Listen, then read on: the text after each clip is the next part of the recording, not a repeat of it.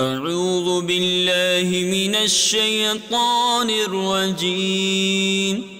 میں اللہ تعالی کی پناہ میں آتا ہوں شیطان مردود سے۔ بسم الله الرحمن الرحيم اللہ کے نام سے شروع جو نہایت مہربان رحم والا۔ يا بني إسرائيل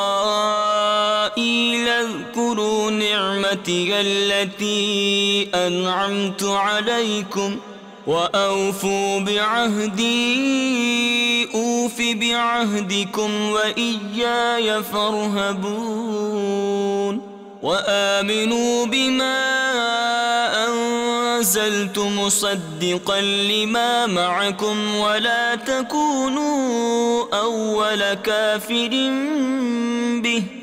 ولا تشتروا بآياتي ثمنا قليلا وإياي فاتقون۔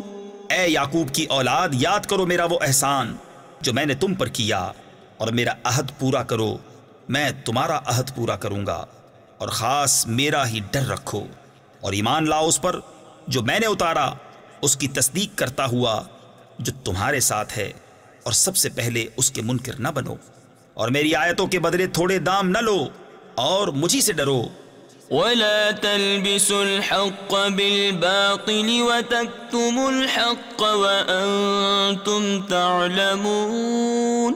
وأقيموا الصلاة وآتوا الزكاة واركعوا مع الراكعين۔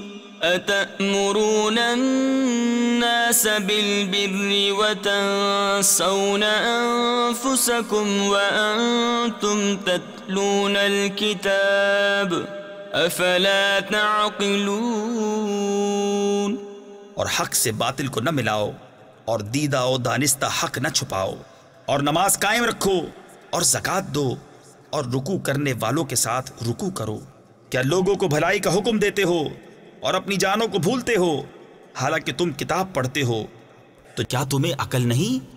واستعينوا بالصبر والصلاة وإنها لكبيرة إلا على الخاشعين الذين يظنون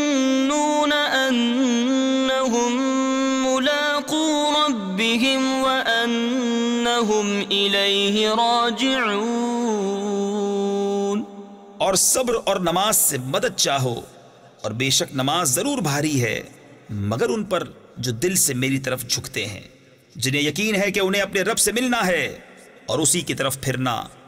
صدق الله العظيم